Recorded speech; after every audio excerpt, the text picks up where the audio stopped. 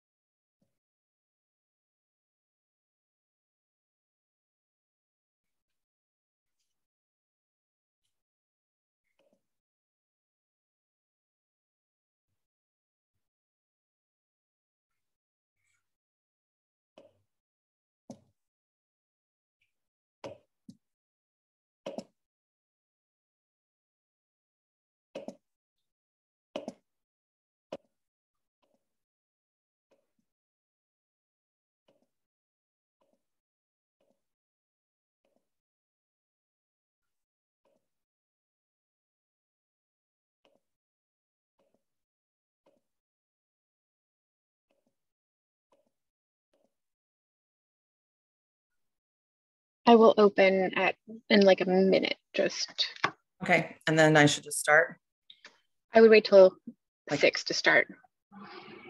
like a minute after six. Okay. Yeah. Okay.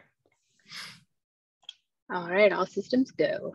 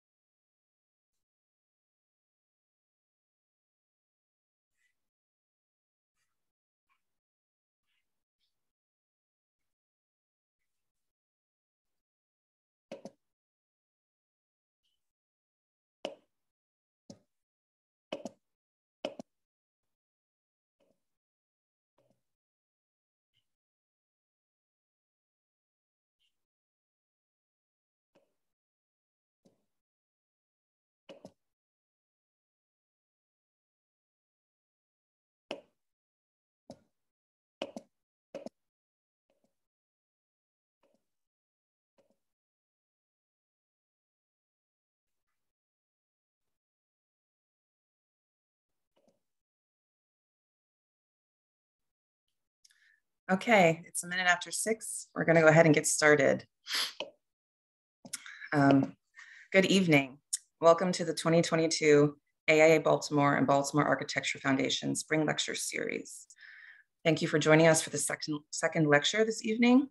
Uh, my name is Kelly Dans, and I am the lecture series co-chair, and I'm an associate at Zickerstein Architects here in Baltimore. The lecture series is celebrating its 44th anniversary this year. The series brings nationally and internationally recognized speakers to talk about design in relation to a timely theme and draw connections to relevant issues here in Baltimore. The lecture series wouldn't be possible this year without the generous support from our sponsors. I'd like to thank all of our 2022 lecture series sponsors. Major sponsor and partner, Maryland ASLA, Corinthian sponsors Murphy and Dittenhafer Architects and Shaw Contract, and our Doric sponsors Blue Ocean, Structura, and WBCM.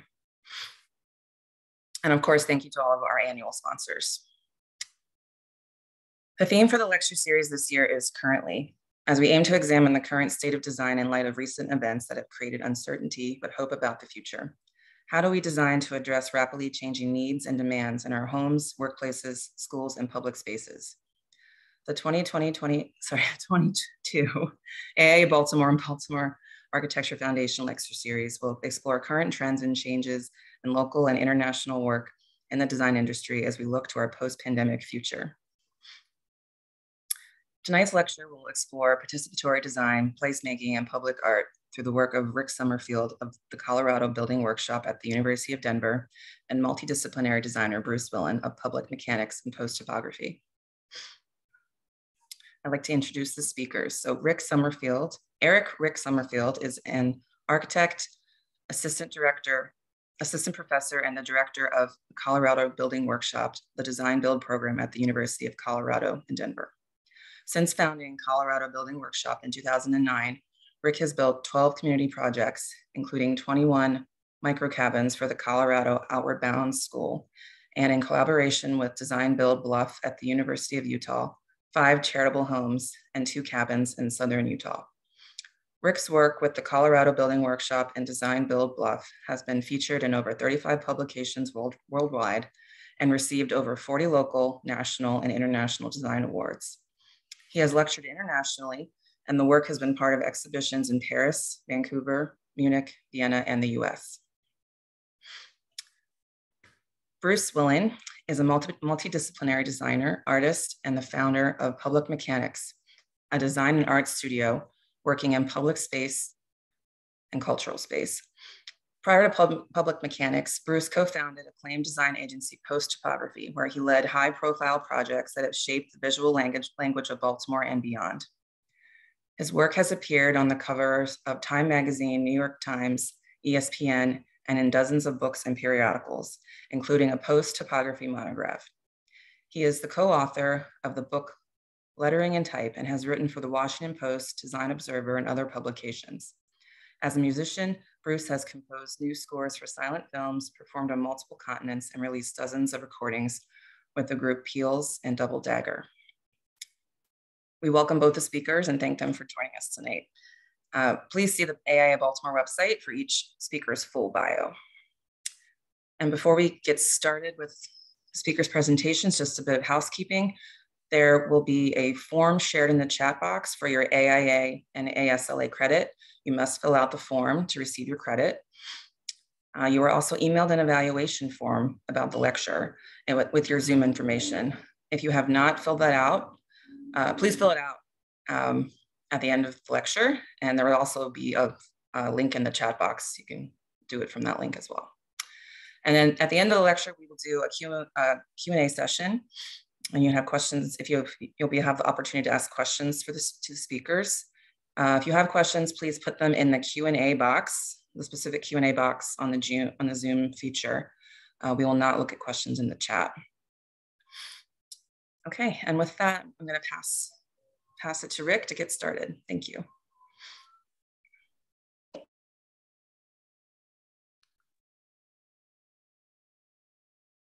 Thank you, Kelly. Um, appreciate you, Bruce, giving me an opportunity tonight to present some of the work of Colorado Building Workshop. Uh, Colorado Building Workshop is a design build program at the University of Colorado, uh, Denver. And we really partner with um, communities and not-for-profits, governmental agencies, really to support ideas around um, environment, education, and the arts. Uh, the environmental region in which we're working is really quite diverse. Uh, right in the Four Corners region. You can see our projects are sort of scattered throughout Utah, um, Colorado, New Mexico, and are located in an area that really doesn't have a large population. So most of the projects are very kind of rural. Um, the climate span from high deserts of sort of Utah to the forests of um, Colorado down into rural New Mexico and even up into the Rocky Mountains. And these sort of extreme climates help situate the work, I think, along really sort of interesting topics that the students are able to uh, explore with the clients. We currently are really looking at issues and have explored projects that deal with things like uh, climate change and overfishing, energy use, uh, food deserts, human waste in the backcountry. Um, and those projects are done in a very kind of collaborative environment. This is sort of picture of the famous engineer Peter Rice working with Renzo Piano on the de Menil. And I think in many ways, we've tried to set up similar collaborative environments that will allow our students to uh, take on a kind of similar role where we're questioning again and again some of the, the methods and, and ways in which we're building.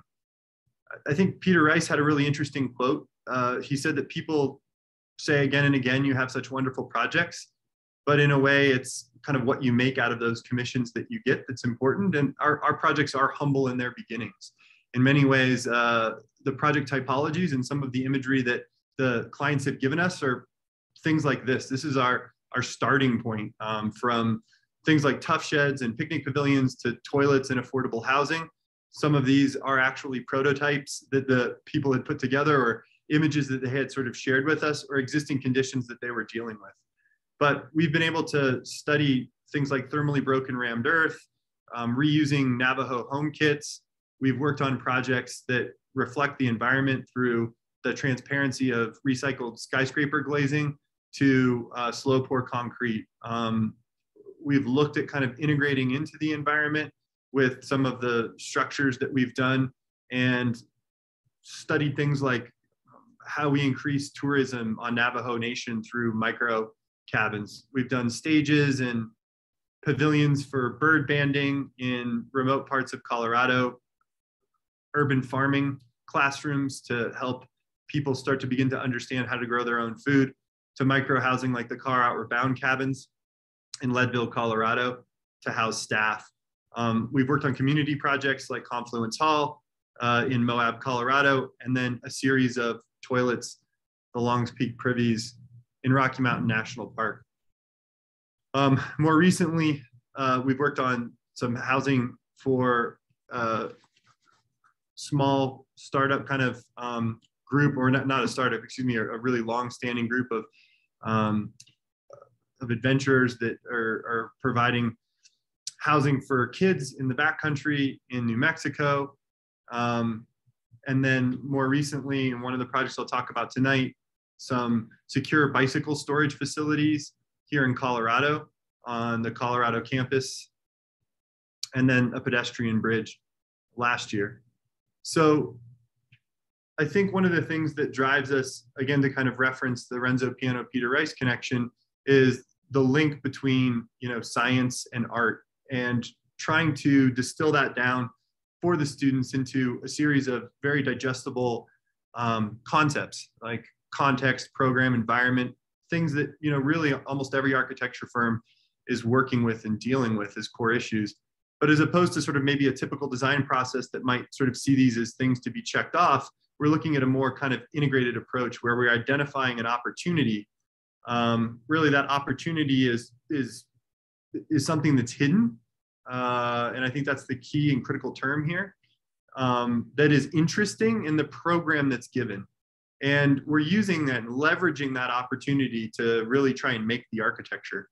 So as we kind of move into a more innovative design process, we're using integrated project delivery, at least at an academic level, maybe not the same way that uh, you might write that contract commercially, but we're bringing in consultants, we're bringing in the client, uh, we're engaging all parties, at the earliest forms of uh, the project to really begin to identify uh, what is important and what is interesting, what are these sort of intensities within each project. And each project sort of varies. So um, tonight, I was just gonna take you through a couple of those projects to give you a little bit more information about the detail. And I'll start with maybe the most humble project that we have, which are the toilets on Longs Peak. So the opportunity really was to leverage the context, material, and structure for a new prefabricated, lightweight, yet heavy enough that it wouldn't be blown over in the wind type of um, urine diversion system that would allow for a healthier way to collect waste in the backcountry. And the trailhead in this particular location is at 9,400 feet, and the toilets are remote. Um, so all of the work that we did down here in Denver to prefabricate those was helicoptered in to sites that ranged from 11,500 feet all the way up to 12,700 feet. And Long's Peak, for those of you who don't know Colorado very well, is one of the famous 14ers um, here in Colorado and is the only 14er in Rocky Mountain National Park. Um, and it is a beautiful uh, mountain that's hiked pretty much um, by almost every tourist. Not all of them make it up to the top, but it is one of the most popular trails in Rocky Mountain. Their existing toilets uh, had to be shoveled out with a shovel into five gallon buckets, and then the waste was toted down the hill by llamas. This was not a sustainable way for the Park Service. So we put together um, an integrated team, one person from every member of the park to basically start to address this with the students. And then the students did a really incredible research packet, which allowed them to, um, in many ways, understand the problem at a greater level of detail. They used this research packet thinking about the people and, and building standards, uh, workflow, how the waste system worked, to then create a summary document that started to be something that the Park Service could react to and really sort of showcase how we were going to play off of the history, the ADA accessible toilets. And yes, these are actually accessible toilets at that elevation per Park Service requirements to begin to kind of understand how we would approach the problem. Now, for us, uh, a big part of kind of getting into this was the structure itself and utilizing some of the material that was already on the job site, uh, the rock that could be used, and then if the structures were ever disassembled, taken apart. But we wanted to have a minimal sort of impact. So as we went through this analysis of how to thin something like a stone wall and understood the history of other stone structures that had collapsed in that location, we were kind of taken by Niall uh, McLaughlin's quote that architecture is really about continuing a conversation through time and beginning to understand the gabion cages of uh, Dominus Winery and how Herzog and Meuron were kind of using that to uh, this project by RCR architects who won the Pritzker Prize a few years ago. The students began to start to think about a lightweight steel structure that might be able to incorporate that. And in conversations with the Park Service and the engineers, and in an attempt to sort of decrease the thickness of the overall walls, we studied sort of structural models about folded plates. Um, the engineer brought this article to the students, and then we started to think more about how folded steel plate construction worked in Toyo Ito's Serpentine Pavilion.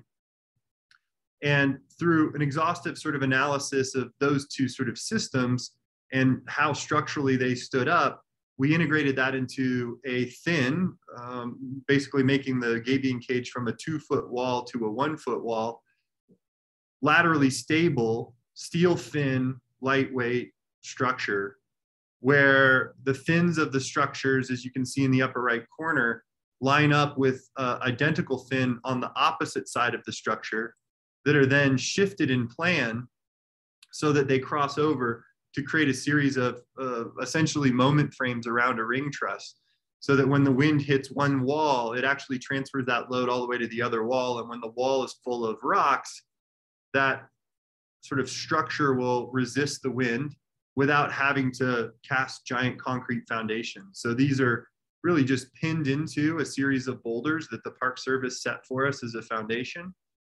And those fins then really take advantage of the landscape by aligning to views, openings, creating sort of uh, jambs for door frames, so that the fins are doing more than just handling the structure, they're actually aesthetically creating a, a certain sort of view corridor, trying to be a little bit more poetic. And the engineer allowed us through uh, Excel spreadsheets to begin to understand how much rock we would need in each wall. And the students could sort of plug this in to begin to see where they could do openings. So it was a very interactive, collaborative design process that then broke itself apart into four separate pieces along with the floor, making kind of the fifth. The students mocked this up at one-to-one in cardboard and then in steel, and then ultimately went about um, after kind of ensuring that this worked from the Park Service standpoint, going about the fabrication of it. We prefabricated everything down in Denver, Colorado, and had it at full scale without the rocks. These were lightweight enough to be able to transport, be transported by uh, a single helicopter load to each one of the the sites for the enclosure and then another helicopter load for the waste systems that were in the back. Um, the structural steel is so thin, in fact, that without the support of the rocks on either side, it would have buckled. So we're leveraging the weight of the rocks and the, the thinness of the steel to be able to kind of make this prefabricated system.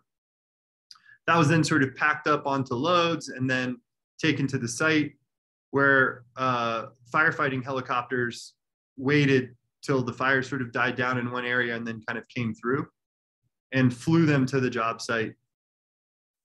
We were supported by llamas uh, and mules to basically set up camp. And then every morning at 3.30, we would get up and hike to the top of the job site. And then the teams individually, uh, and there were three separate teams um, on three sites working on four toilets, went about erecting it it went better than we expected. We were able to actually erect all of the floor and the walls in about a day and a half, and then spent the next uh, couple of days collecting rocks. And we went down, came back up again, and finished um, in two weeks. So we were actually able to finish the entire project on site in uh, less than eight days, which was was better than anticipated. So just some final images of how that project turned out. The toilet system is per the park's uh, requirements, a urine diversion system that sends the waste to the back. Um, it diverts the urine uh, out into the site and then that reduces the overall waste and the number of trips that they have to take. And it's all collected in a plastic bag. So it's, it's much better from a park service employee standpoint.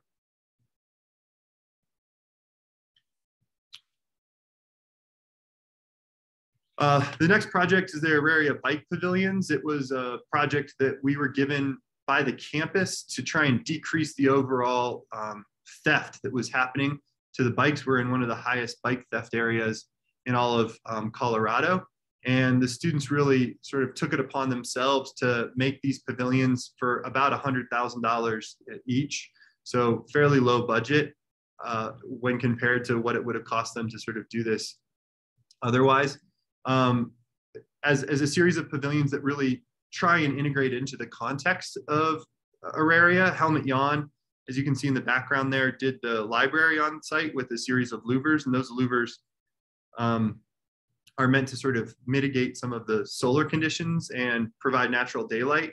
But uh, our group of students wanted to sort of re-envision the louver and the limestone, which is another prevalent material on campus, as almost an extrusion of a parking stripe so that you could begin to park your bike uh, between these louvers that gave us the security and transparency that we were uh, looking for in order to really sort of showcase each bike individually, whether there was space available, and then ultimately provide views into the bike pavilion to kind of look at crime prevention through environmental design. So as a topic, they were kind of considering the idea of how views into the project could be as important of as somebody parking the bike and their views out.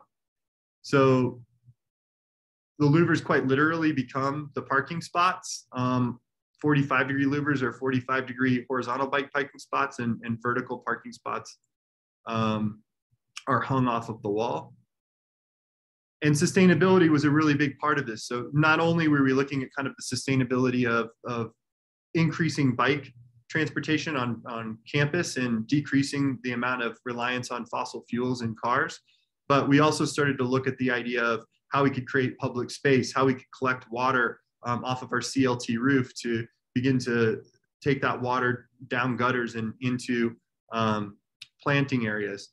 So it was a very holistic approach that the students took to both sustainability, security, and the kind of utilization. And the two different bike pavilions each hold about 50 bikes each. And at certain times of the day, the light actually becomes the parking stripes. The process for sort of doing these stone louvers was a really interesting one. Um, they were looking at dry stack systems and started with brick and then kind of quickly moved on to limestone so that if the building is ever uh, decommissioned, that all of the limestone can be recycled. And as we were going through the way in which we could kind of participate with consultants in this, uh, we were really in an interesting situation because it was 2020 um, and in March, we all know kind of what hit. And it challenged us in many ways to start to think about how we could rethink um, the idea of mock-ups and collaboration and the students took it upon themselves to start working outside in groups. We were delivering materials by car and leaving on porches. They were creating all these crazy videos of cardboard mock-ups in their bedrooms and videoing that out. We were working on Miro. And then eventually in, in the fall, we're able to kind of get back to the build. All of our projects generally happen from design to final completion in 19 weeks. But this year, we actually um, took just a little bit more time than that. Uh, we spent um, basically all of March through the summer shut down and working online. And then we geared up again in August, but we were still able to build it within the year. And the students then used the full scale project as a mock up. The steel fins are both the lateral system, they resist um, the lateral loads, and they are the columns. And so these steel fins become not only the structure, but the parking spaces. And the students did a really beautiful job of putting together uh, a whole series of drawings to show how they could dry stack this with stainless steel pins so that ultimately we hope it could be disassembled. There's a little bit of epoxy in there now and um, you know that was something that we added in a little bit later, but you can see some of the details for that. And then ultimately the manufacturing. They got pretty fast at uh, kind of making that work. So again, participation and collaboration was sort of a huge part of that as they met with stonemasons on the job site and kind of worked to build the project up.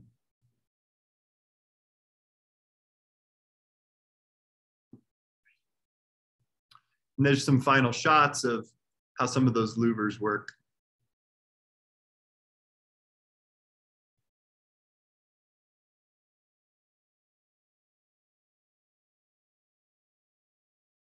There's even skateboard parking. And they created sort of custom bike signs, which I thought came out really nice with the LED lights. The next project is um, Lamar Station. It's a urban farming classroom. And, you know, it was a really interesting project. It's small scale, about uh, $50,000 for the pavilion. And the students were reacting to an existing path that had a Corten steel bridge along a sort of irrigation ditch. They wanted to create a, sort of classroom that by the client's sort of suggestion was transparent um, as they looked into it, but opaque as people walked by, uh, which is a very difficult thing to do. But we went about kind of creating this finite element analysis with the structural engineer and collaborating on how we might be able to use bar grate to create that um, transparency so that as you approach, you can see into the classroom and from that red building, which was their headquarters, you could see into the classroom. So there's transparency there. But as you walk by, it becomes completely opaque. But we didn't want this sort of bar grate to just be this, you know, skin that did that. We actually were looking to incorporate it into the structure. So the bar grate is actually a structural skin that replaces all of the vertical columns and all of the vertical um, parts of the truss to create those cantilevers. So it was a fun structural sort of exercise. The steel plate uh, that you see there is also a truss that collects the water into the washing station and then recycles it into the herb garden.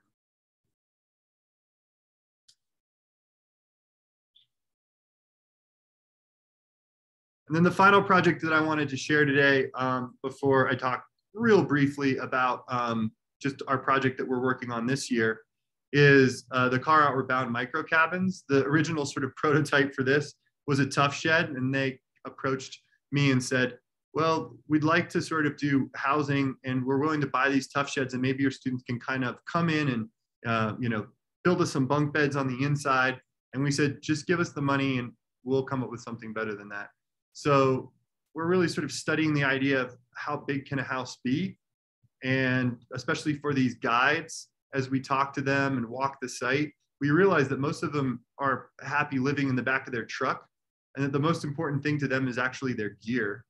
So as we looked at the sort of gear as being a really important piece, we understood that we weren't just housing them, but we were housing some of their most prized possessions, which were their bikes, their kayaks, and their skis. And we came up with two different prototypes. The first year we built a prototype on the right-hand side. It was a seasonal housing for temporary staff. And on the left-hand side, in the second year, we actually built a series of year-round cabins that could be operated with just a single heater on the inside. And the construction typologies were quite different. One was very, very lightweight, protected by this giant shell that went around it with a snow roof. Um, it had no insulation. It was all basically made out of two by fours. The second year, we went with really thick SIP panels that could actually hold the snow on the roof to add R value throughout the sort of uh, winter.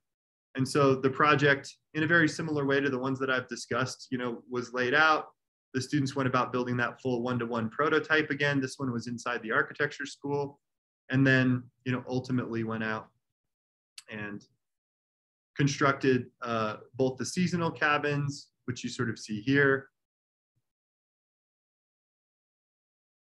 and then the year-round cabins, which were the insulated cabins with the flat roofs that hold the snow a little bit more. They're scuppers that drain the water off.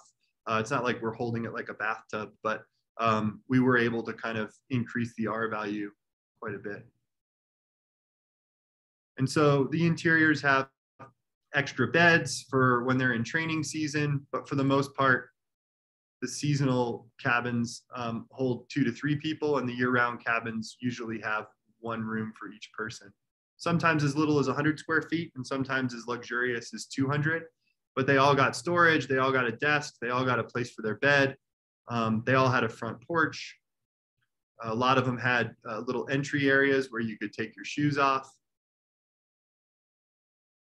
And again, this is sort of being done in about 19 weeks. So this year, um, just to close this lecture out, uh, we were approached by NOAA to actually go build their research station in Antarctica.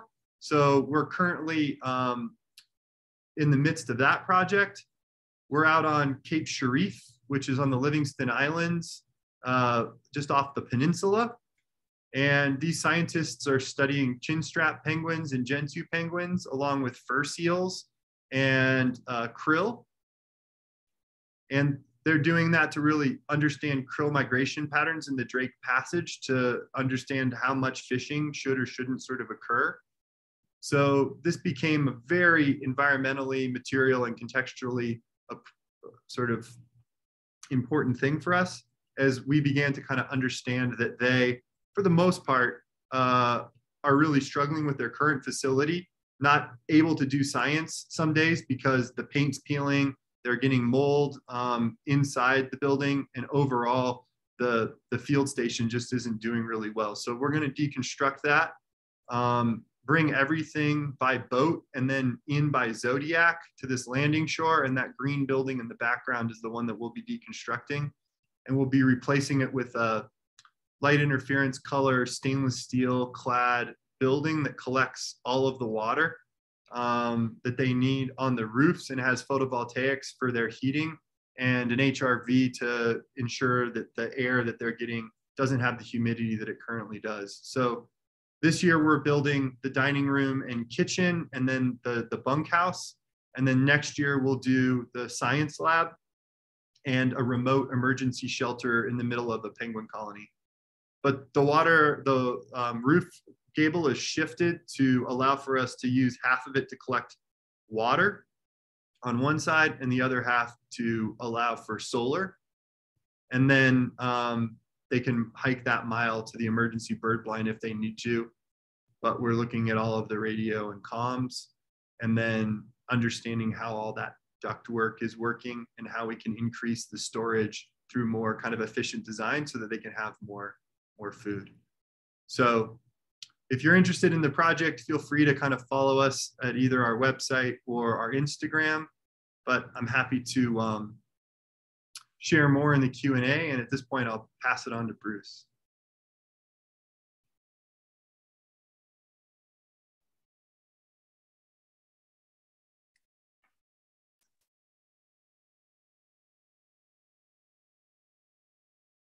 Um, hey, hey, everybody. Um, thank, and thanks so much, Rick. Uh, so awesome to see those projects. Um, I, yeah, I really love the you know all, all the thought that's going into the idea of like deconstructing the or being able to deconstruct the material and reuse the materials really easily. It's um, yeah, the work is not only beautiful but it's super smart. Um, I, I can't, however, promise you any llamas or penguins in my presentation, but um, I'll, I'm going to share a little bit of work with you today.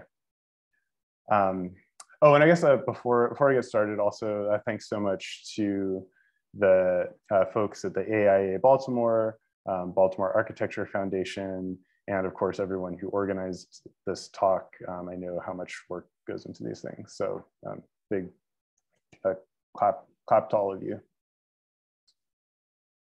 Um, so, hey, um, I am Bruce.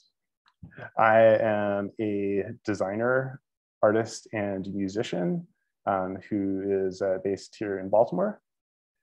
And I'm also the founder of the studios Public Mechanics and Post Typography.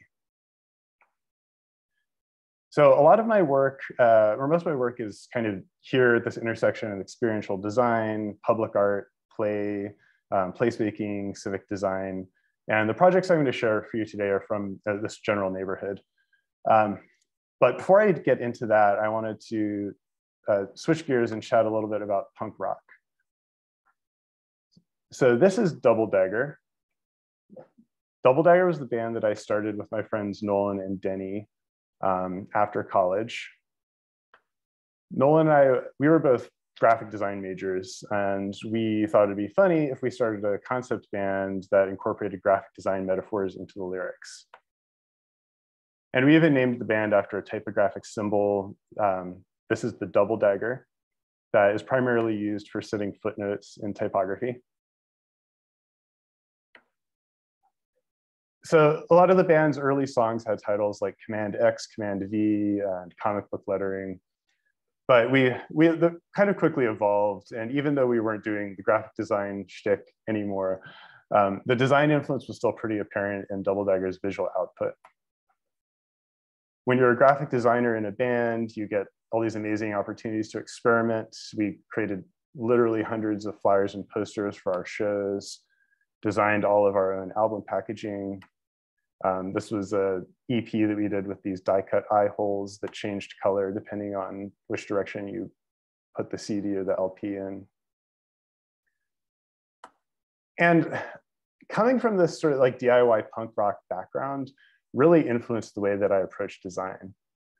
Um, working within this sort of limited uh, set of resources or constraints is, you know, basically what is defines being a punk band for one of Double Dagger's tours, uh, for example, um, we'd run out of time and money to print some cool posters and mail them out to people. So at the last minute, we whipped, whipped up this PDF Mad Lib and we sent it out to promoters all over the country. And uh, you know, just asked them to fill it out with the show information. Um, some of them took it a little more seriously than others.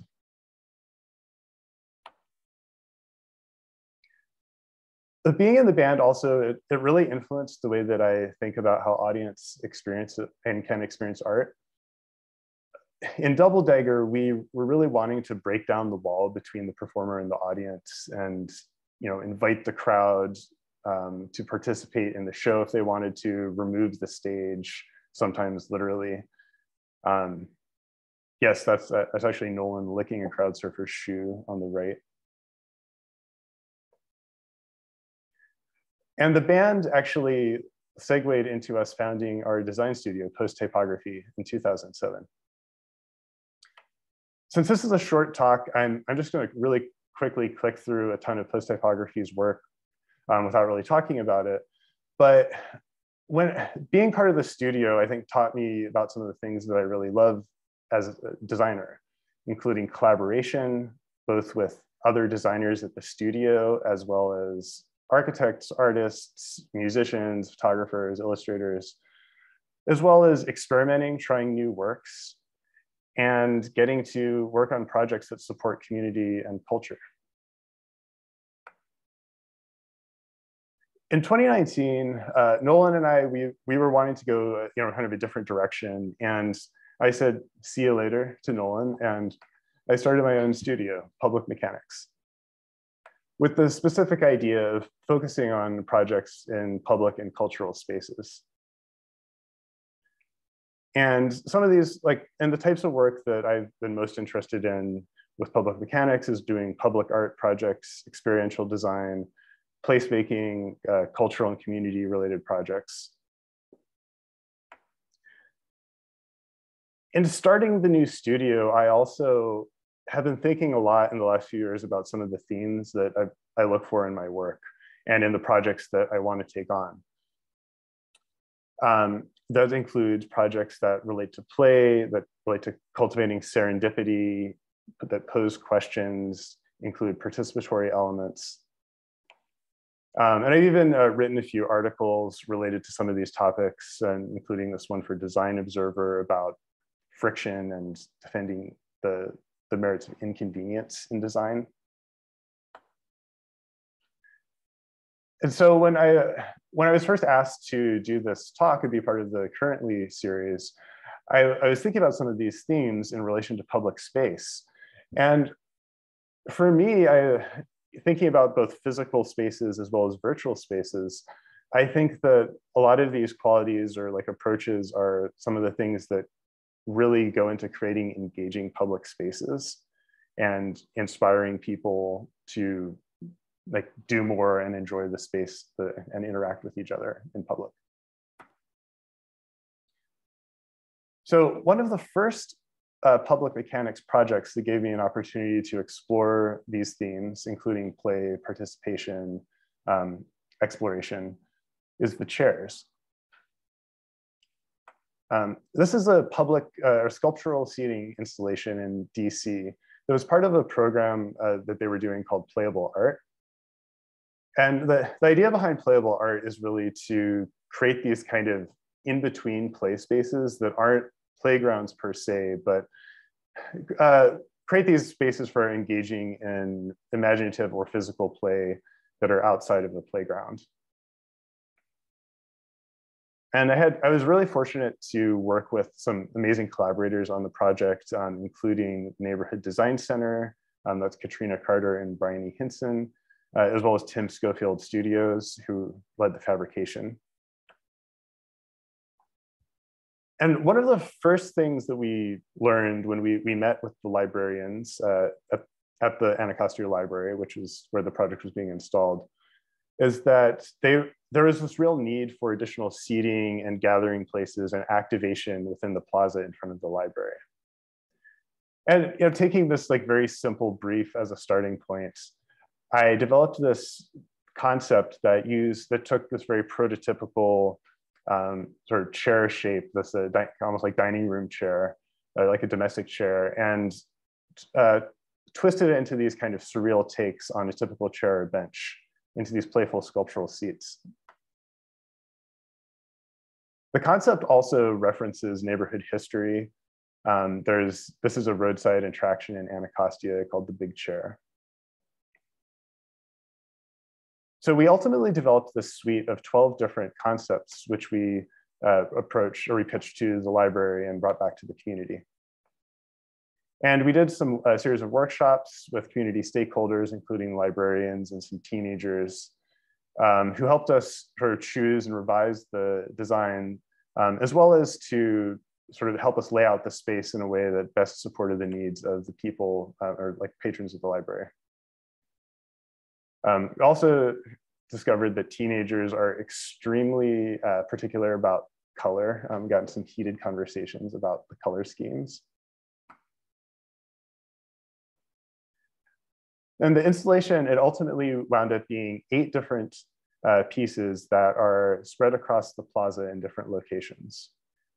And each of these, uh, the eight different sculptural seats is designed specifically to create these different experiences and opportunities for play and for interaction. The yoga chair, which is doing this fun back bend, um, quickly became like, like realized it was a favorite of younger visitors to the library. Um, and in fact, within like literally probably less than 30 minutes after bolting this thing into the ground, uh, this like three-year-old like ran over and started climbing all over it. So that was a like yeah, a fun kind of proof of concept.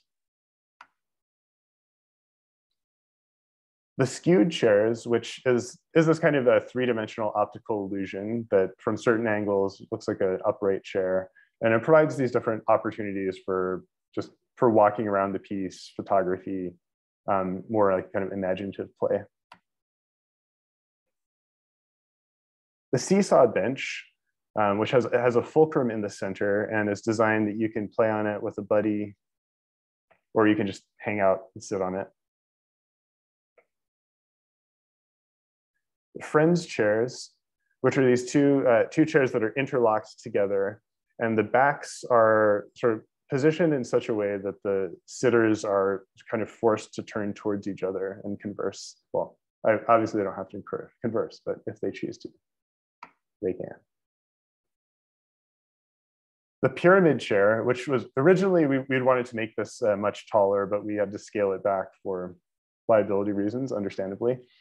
Um, was with this piece, and actually like all of the pieces, it's been really interesting to see and, and watch how the different visitors to the library interact with and kind of find different ways to sit and engage uh, with the chairs. Um, and like one day when I was here, a group of uh, three adults came out of the library and sat on this chair and had this kind of like private business meeting. Um, and but obviously, it's also something that is fun for younger kids as well. The frown bench which of course is paired with the smile bench. And in the background, you can see the rainbow chair. And the, this photo was taken from the roof of the library, um, but, but you can see how we kind of arranged the, we, we grouped the pieces in different ways across the plaza to create these kind of discrete sit sitting areas, but also opportunities for um, these kind of like separate play areas for people who are visiting the library. so with uh, with my background in typography, I'm I've been like really interested in applying these ideas of exploration, play, friction um, to text, signage, and language that's the, in the built environment. Um, uh, I'm going to share a few of those projects that sort of, sort of touch on this, including the Waverly W. The, the original brief and scope for this project started off as being a, a more, very straightforward sign that was kind of this gateway to Waverly and the Waverly Farmers Market. And we pitched doing something a bit more sculptural with this giant letter W that was kind of related to the Waverly Main Street uh, branding.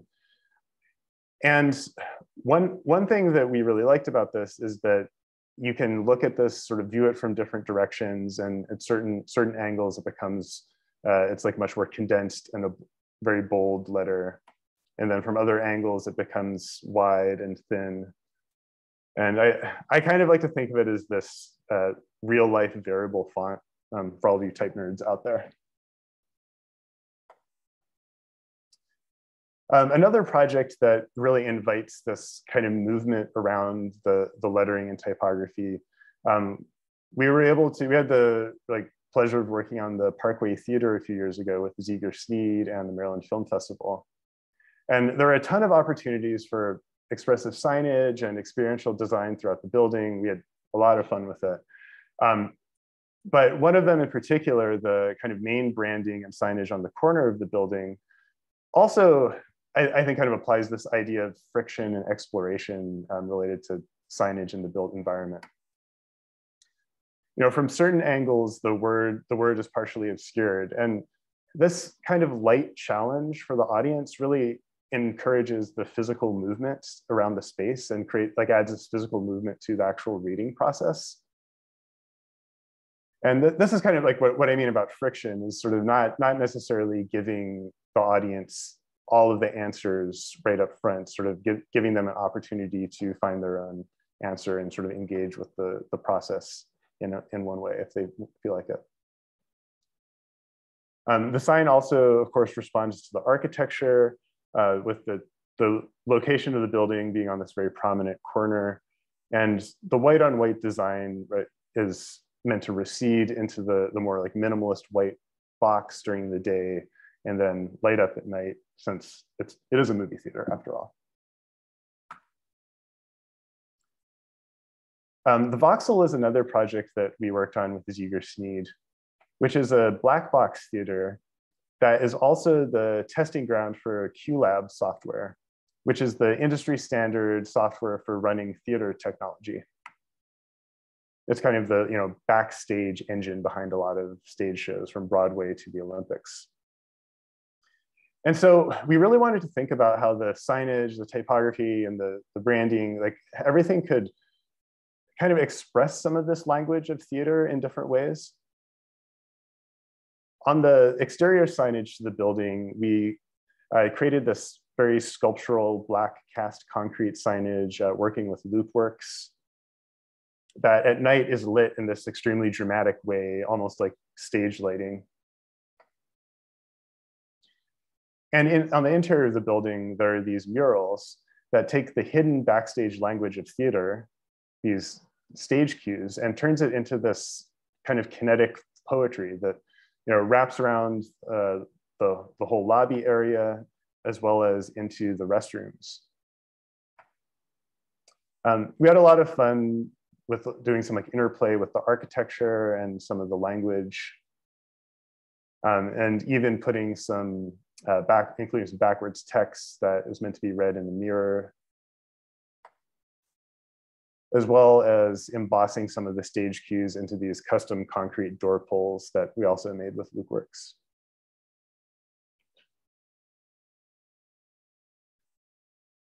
So uh, uh, another uh, more recent, uh, this is a recent installation project, the Library of Lost Gloves and Lost Gloves, um, that also incorporates language um, as well as some themes of participation, play, exploration, and serendipity in public space. Last year, like during the pandemic, I was taking a lot of walks around, around neighborhood, around parks in Baltimore. And I started kind of like collecting or like or like rescuing some of these orphaned gloves that you see lying sort of forlorn in the gutter or like sad and damp under a, a snowdrift. I've I've always really loved the phenomena of the those single like the solitary lost urban glove. Um, they have such a poignant quality to them, um, but also a lot of personality. And I I really couldn't help but start inventing stories in my mind about some of these lost gloves, like who maybe like who are the people who lost them, who what's the circumstances, who are some of the lost loves in their lives. And I added notes to all of these gloves, these little hang tags, where I wrote which, what I was kind of thinking of is the first line of a short love story. Um, and some of these, uh, some of these included things such as, I assumed we'd grow together like two old suburbs, sharp words, soft, soft lips, it was our song, then it was his song. Some of that Romeo Juliet bullshit. And I love how this pairing of the, the found object with uh, very different text starts to create these opportunities for you know, the engagement of the imagination and delight and you know, like this kind of serendipitous associations.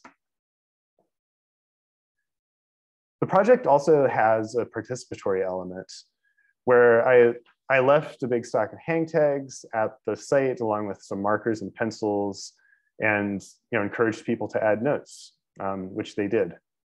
People wrote some like funny notes and wrote some of their own poems.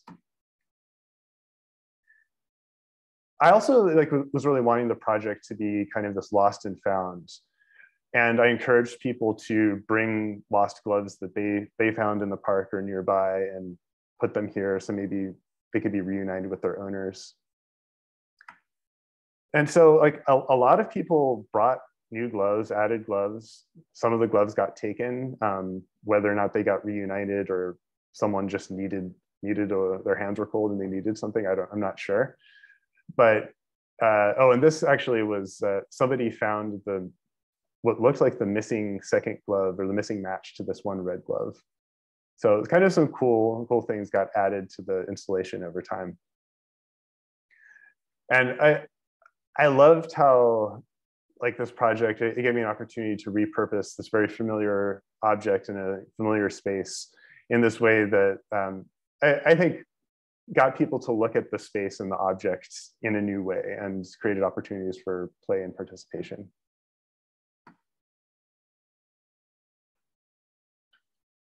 So another participatory project that uh, was a more a client-based work. Um, we, for a few years, we worked with the Baltimore Museum of Art on a, a campaign to promote this high-profile speaker series um, that focused on themes of art, race, social justice. And the name Necessity of Tomorrow is it comes from a Samuel Delany essay that is about the importance of speculative futures. Kind of like taking this as our starting point, we started the project uh, doing quite a bit of writing and kind of imagining, like trying to convey some of this context of the better, of a better tomorrow. Like, what would it look like if school teacher was the highest paid job in America? Or, you know, what would it take to get to a place where guns only existed in museum exhibits? And these these optimistic statements really became the center, the, like the centerpiece for this campaign. And in addition, there were, we designed, you know, a lot of, you know, standard promotional materials, cards, advertising. But the museum also was really interested in reaching audiences beyond the art world bubble. And they, they were open to us kind of like pushing, pushing things further. And just importantly, being able to spark conversations with the project. The museum hadn't really, I, I think this was one of their first transit advertising projects. So it was really exciting to get some of these like fairly like radical statements into public spaces.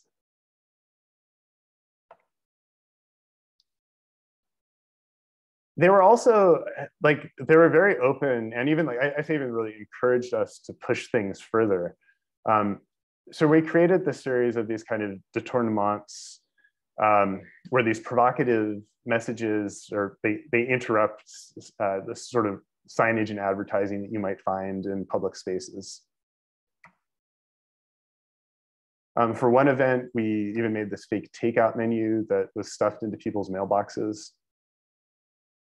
And on the inside of the menu was a, a flyer with information about the event or one of the upcoming events. So these pieces, I, I think they're sort of as much art or maybe more kind of like art than advertising. But the idea was really to like, how can we take some of these themes of the conversation outside the walls of the museum, out like beyond the lecture hall and in, into public space where people might kind of randomly encounter them.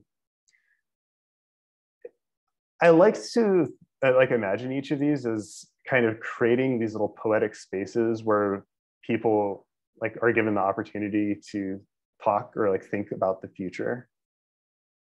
And and in a way that is not you know not the way that we typically are where we're being bombarded bombarded by the news in a very kind of negative and frantic way every day. The campaign also uh, included this participatory element where we collected people's ideas and wishes for tomorrows, for the future, um, through Dropboxes, um, as well as through the, uh, the series website, which collected um, some, some of these phrases. And people were able to kind of vote on some of the ones they liked. And as the series progressed, we took some of these community contributed ideas and we fed them back into the project. And so some of this language actually influenced the future posters and advertising that we developed for the project. So the, the Necessity of Tomorrow is obviously, it was a great collaboration with the designers at our studio and with the museum. But beyond that, it was really a collaboration, like, or had elements of being this collaboration with the these different communities in Baltimore, and the arts community in Baltimore.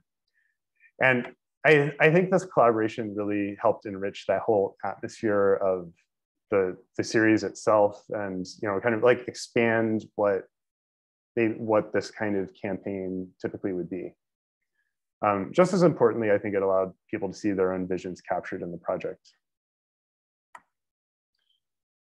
Um, so finally, I wanted to like kind of like wrap up and share also like Rick share a project that is in progress, give a little sneak peek.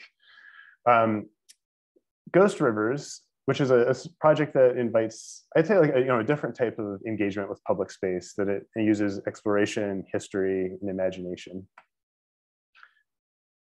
And this is a project that really started maybe eight or nine years ago. I'd been looking at this old map of our neighborhood and I noticed on the map that there is this river and a pond that you know runs runs down the center of the neighborhood that they're not there anymore. They're they're gone. And I was looking at it, I was like, huh, is this one of those like lost or like underground rivers that I've heard about?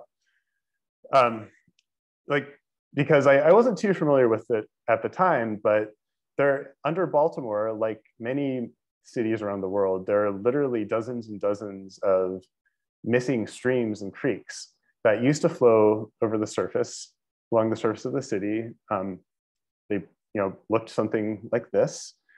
And now they, uh, you know, 100 years ago, they were buried underground and the same area looks like this. So for the course of this project, um, I've been doing quite a bit of research. Um, this is one photo that, that I've uh, come across that I, I, really love because it shows, I think it captures the burial process um, in, in this really clear way. You can see on the right, there's this, this is a creek in Hampden. Um, and on the left, these workers are building this culvert that the river would soon flow through, or I guess it flows through now. And this whole valley got filled in and now there's row houses on top. From a, you know, like a, both a design and kind of like a sociological, anthropological context, I'm really fascinated by the, just like the ingenuity of this, uh, of these buried streams, but also the, the kind of hubris of, of it. Um, obviously, like, you know, taking, taking this very complex system and replacing it with this man-made, human-made, uh, rational, efficient system, it doesn't always pan out the way that we think it does. Um, even 100 years ago, these underground rivers would occasionally, you know, burst through the banks of the culverts, creating these floods underground, sinkholes. Occasionally that still happens today. Um, these buried creeks, they're you know, I think mostly forgotten, but they're still very much with us. And if if you're walking down the streets of the city and you hear the sort of like faint water like rushing like coming up from a, from a storm drain chances are it might be one of these buried streams so for uh, there's a, a, few different aspects of um, ghost rivers and this this is a sketch of, of the project in progress um, one of which is going to be uh, this series of these installations on uh, in the public spaces that trace the original path of the stream, sort of showing you know where it once ran. Um, additionally, there's going to be a walking tour and some interpretive signage that uh, talks about kind of the, the idea of these lost streams, the ecology of the buried rivers or the pre-urban ecology of Baltimore um, as well as talking a lot about neighborhood history and the history of Baltimore. I've been conducting a series of workshops and interviews with residents in the Remington neighborhood where the, the project is first going to be installed. And one of the one of the things that's been really interesting when I'm chatting with people is hearing some of their own experience experiences with uh, buried streams. Um, more there's a more well-known uh, underground stream in Remington, which is part of Stony Run, uh, goes under the neighborhood. And a lot of people were telling me stories about skating through these tunnels, or in the case of this guy, uh, running from running from the cops through the tunnels. And that's really, I think, like one of the things that I love most about public spaces. Um, there's all these different layers of history, community, culture, different ecologies that they kind of like coexist with each other. And typically, I, you know, I think we're just passing through all of these spaces. We aren't generally aren't privileged to glimpse all of the layers. And with Ghost Rivers, I'm hoping to sort of peel back and unearth some of these histories so that people can use their imaginations um, to look into the past, um, as well as to start to see other possibilities for the future. So thanks. And Let's see, my cursor has disappeared, but I'm gonna see if I can stop sharing and turn it back over to the moderator. Or feel free to take it from me if you can do that. I I can't. Oh, there it goes. Okay. Okay. my, my cursor wasn't showing up all of a sudden. All right. Thank you, Bruce, and thank you, Rick. Um, thank you so much for showing and sharing your impressive work. Um, so now we have a little bit of time for some questions. Um, if anyone has questions, please put them in the Q&A box and we will, I will read them out. I have a question to get us started though. Um, uh, it was interesting looking at your presentations, you know, you're both working on um, these projects in public space, but to me, um, Rick, some of your projects were very remote and Bruce, yours were mostly urban. Um, so can you just talk a little bit about your process for understanding uh, the site and the relationship to the environment um, and how you design for the place? And I just thought it'd be interesting to hear how you do it since your sites seem different and if there's similar similarities or differences in your process. Sure. Yeah. Um, that's a great question. And it's definitely something that's at the forefront of our mind here in Colorado with this beautiful landscape is that we're kind of given, you have to really look at the context. And for us, sometimes it's about a more sort of distant view that you're trying to take advantage of. Other times it's really about um, understanding kind of immediate site conditions. Maybe it's contextually responding to materiality but it's really very much about this research project that we get into in the fall semester before we start design, a conversation with our clients, and then really leveraging what really think um, is the kind of appropriate response based on some of those things. So with the Colorado Bound project, it was very much about the immediacy of the site, and the students used trees to kind of guide the entrance that you walk through, or windows that sort of looked out at a rock outcropping. Um, so it was a little bit more intimate and something like the Auraria bike pavilions, we were pulling off of the, the louvers from, um, you know, the, the library sort of next door and some of the limestone from the church as a, a way to try and integrate at least the materiality into it, which was similar in Long's Peak. We were trying to make that project somewhat invisible, not invisible enough you couldn't find the bathrooms, but you know, invisible enough that uh, it wouldn't be an eyesore as you were you were hiking up. So for us, it's really this collaboration between clients and the students and a real dialogue around how we really feel like each project should do it in its own way. There isn't, in my mind, one way to approach that. It's it's really um, very much project specific, if that makes sense. Yeah, I would um, I, I would really second that. I think you know mo most of the projects that, that I work on or work, work on with the, the studio, they're all like very very context specific, and that you know I think that really drives most of the work that that I have done, both like even the earlier work when I was doing more graphic design work, as well as uh, focusing on work related to public space. Um, but obviously the last project I showed, the Ghost Rivers project, is is very much based on like related to a specific site and place and neighborhood and but trying to kind of weave together some of these stories so that it is, is very rooted in in place. Um, and you know similar to rick when i like working on more client driven projects it's you know really trying to like understand what are some of the requirements of the you know the needs of the client the project the um, sort of what what is needed with the site or the considerations with the site as well Great, thank you. Um, so we have some questions in the Q&A. Um, let me see.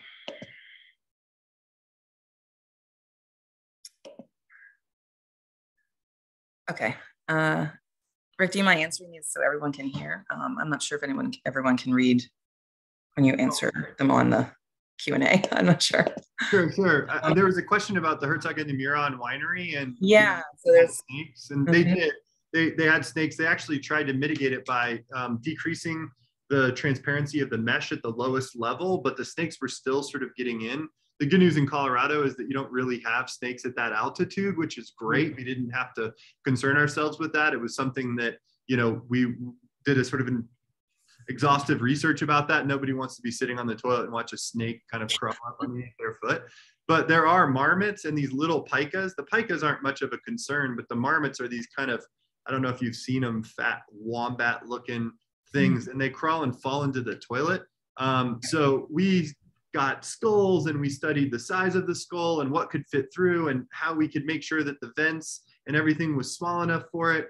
And uh, the first day that the project was complete and everything, you know, was done, we were sitting around and a marmot crawled up and we were all laughing at the marmot, like, there's no way that you're going to be able to get in. Like, we've studied it. And that marmot got right on the outside of the gabion cage and he walked eight feet straight up the wall over the top dropped himself down, walked eight feet down on the inside, and kind of was laughing at us the whole way and got inside. Uh, the good news is it's not a vault toilet, which they were falling down into, and then people would get really freaked out because they'd see these like little marmot eyes. It's a very flat urine diversion system, so there's no way for them to actually get themselves, um, you know, back there. Uh, but they were getting along the back. We had put clips with a, a little lock, um, and we'd only done it in the middle and they were prying their way in to hibernate in the, the winter inside the back. So I did hike up with llamas and a generator and a welder and re-weld some tabs about uh, maybe a year, year and a half ago um, to make sure that they were really, really um, marmot proof and they haven't had problems since. So. Wow. Even the research you do sometimes doesn't really work itself out. And so you kind of have to go back and post occupancy evaluation, right? Figure out how to solve it. Great. Uh, okay, next question. So um, yeah, so, so the slide, this presentation is being recorded and it, and it will be posted on the AIA, AIA website uh, in the future. So if you wanna revisit it, you can. Um, and okay, there's a question, how do you protect the metal from rusting on your projects, Rick? Um, yeah, we do use A606, which is commonly referred to as Corten steel quite a bit um, versus the A36 carbon steel. Uh, in some instances in Colorado, because the humidity is so low and it's really so, salt water, humidity, standing water that rusts, um, we don't rust to failure as quickly as you guys would. It would be a terrible, terrible idea to use A36 carbon steel, you know, along the coast in Baltimore, Maryland, like any of that. But here we can get away with it um, a little bit easier. It does get a patina to it. And then that patina, much like a weathering steel, protects itself to some degree uh, it will probably rust to failure eventually, but the plate steel is thick enough that it'll be, those toilets will be deconstructed probably long before we have to worry about that. But I do hike up every year, um, thankfully with the llamas, which is a lot of fun, I'm not gonna lie. And, uh, you know, just sort of check them out. Most of the time now it's just an excuse to go for a hike. Um, they have minor things sometimes that they have us do and other times we just sort of do it for fun just to see how they're doing. So Great. Okay. Question for Bruce. Um, the underground aspect of the streams, regarding the underground aspect of the streams, how would you suggest bringing the streams to a daylight condition? Yeah, that, that's something that is is really interesting, uh, or it's kind of an interesting question. Um, you know, it ties back into, I guess the question is like, why why do we want to do that? Um, some some of the, the short answer is that these streams have a lot of like a stream has so many benefits in terms of filtering water, controlling stormwater runoff, um, and not obviously creating habitats, all many, many things that we now we now know about that maybe people weren't thinking about 100, 150 years ago as much. Um, obviously, it's you know in a place like like a that's a very dense city like Baltimore, where there's a lot of buildings on, on top of them. That's not you know not something that is being considered at the moment, but there are a lot of uh, cities and like urban areas around the world that have started looking at daylighting some of these buried streams. Um, there's actually uh, New York just announced that they're going to try and daylight um, part of Tibbetts Creek in the Bronx, which is a, um, a, like a fairly large creek that is mostly underground. Um, and the part the part of the project that they're able to daylight i think it runs down a, a decommissioned rail right of way so there's i think maybe just enough space where they're they will be able to uncover the the creek um, without having to you know obviously displace a lot of people or rebuild tons of like tons of infrastructure um, that that said it's also like the project like it's I, it seems like it is probably a lot easier to bury the streams than it would will be to start to uncover them where it's where it's even possible to. And so, I mean, it's just like it, it's sort of an interesting example of where like we have this technology and the like technical expertise to do something, but then you know without really fully understanding the consequences, and then you know in the future it's like so much harder to to un- undo it or to kind of mitigate the situation but but yeah, I think there there is definitely this growing growing movement towards daylighting streams um, where where it's possible and where the kind of conditions permit, like all over the world. Great, thank you. Another question for you, Bruce. Um, the project with all the seating. What were what material were the chairs made out of um, to make them durable enough for kids to play on? Yeah, so the the chairs are are steel, and it is a that um, is a permanent installation in, in the plaza. So the, the idea being that, yeah, this is, this is something that is also going to be maintained by the um, library staff as well. And um, they, um, it's the, the project is owned by, as part of like this, the city of DC's art collection as well. So there's kind of a maintenance plan for it. And like, assuming this pro these chairs are going to be like well used, probably get graffitied, all sorts of stuff. Hope probably skated on. We some of some of them I think would be really fun for skaters. Um, yeah, we wanted to design them in like a really durable material, but also with um, in in mind that they can be repainted and maintained. Great. Okay, and a question for both of you. Do either of you do post-project surveys or interviews about people's experiences with the project or place?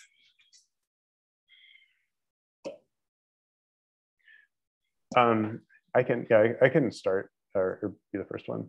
Um, I say sometimes with some projects, yes. I I say more typically. I mean, depending on the project, um, it's often more anecdotal kind of interviews and discussions. Um, if there's a project that has kind of the scope or budget to do do a more kind of formal survey or interview process, um, I it, it's great to be able to do that. Um, and with the Ghost Rivers project, that's something that I'm you know planning for in terms of increasing awareness of, of the topic but i i always like to follow up after the project just like anecdotally with both like the clients and you know sometimes people in the community and just just be like hey what what do you think of this? What mm-hmm.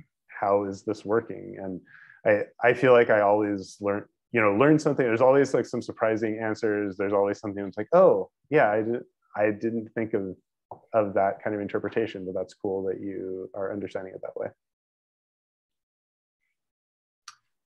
Yeah, we we do actually do it, um, and I do it for educational purposes. It's almost uh, important as part of the learning process. So I take the group of students that's going to be doing the next project and I have them do a post-occupancy evaluation of the project that was just finished. Hmm.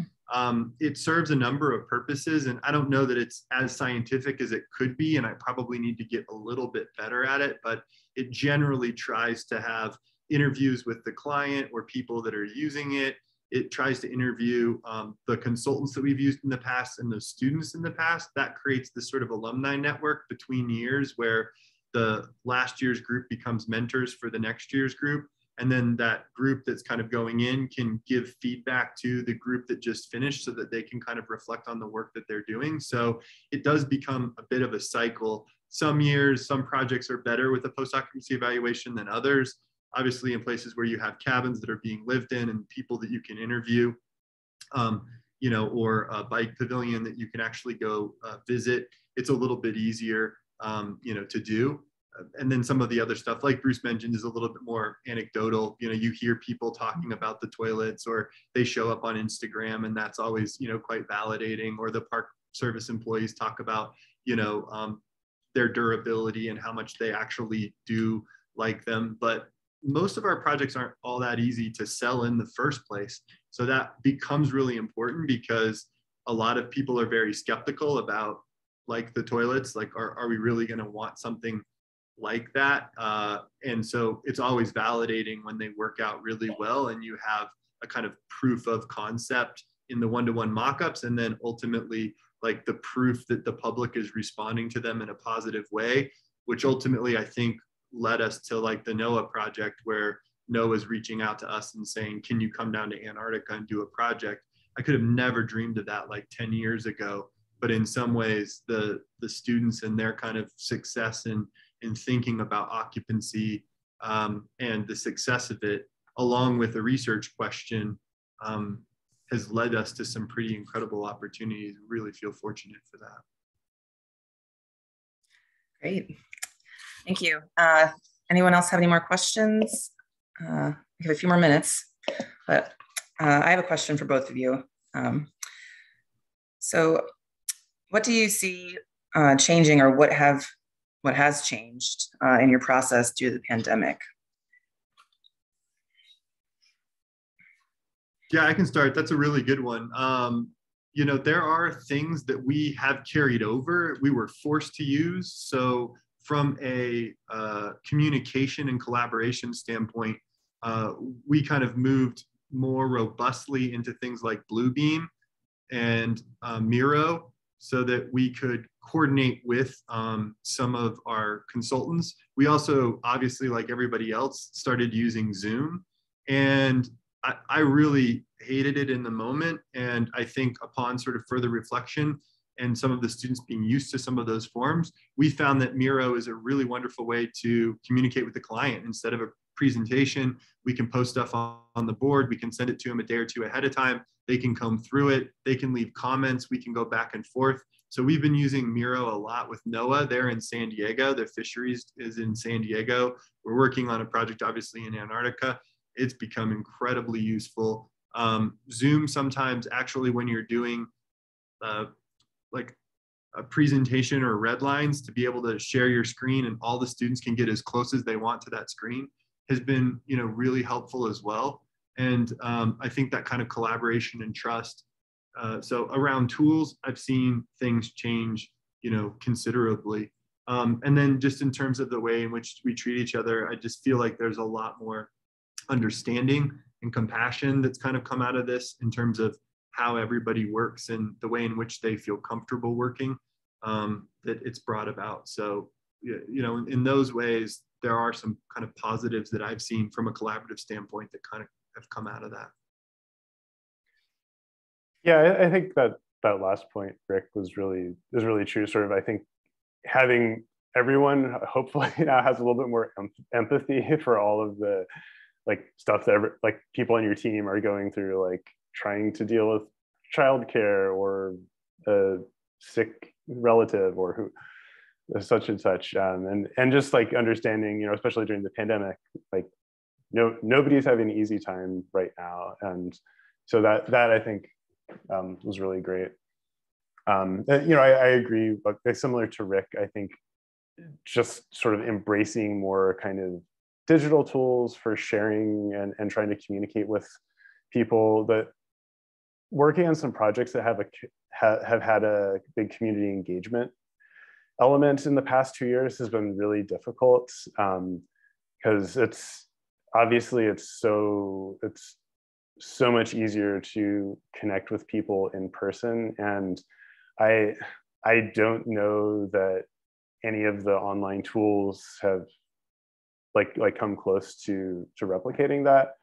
Um, you know i think definitely being able to like relying on more things like sur- surveys and uh, you know, you know trying trying to give people opportunities to respond in different ways digitally to for like engagement stuff has been been cool. I've got i've done some stuff with miro as well.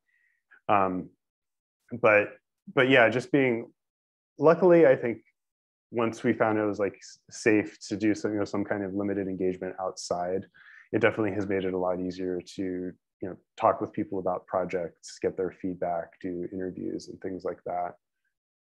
Um, I, I guess I like also add that one, one really cool thing about the, the pandemic for a lot of people is that I think it has really refocused them on the, the value of public space right now as you know, it's like suddenly everyone is spending a lot more time outdoors, like in, in parks or like going on walks in the street. And there's, I think there's this kind of like reaffirmed commitment, even of people who aren't like heavy advocates for public space. They're like, oh yeah, parks are really cool, plazas are really cool. Being able to go sit at an outdoor cafe is is really important to me.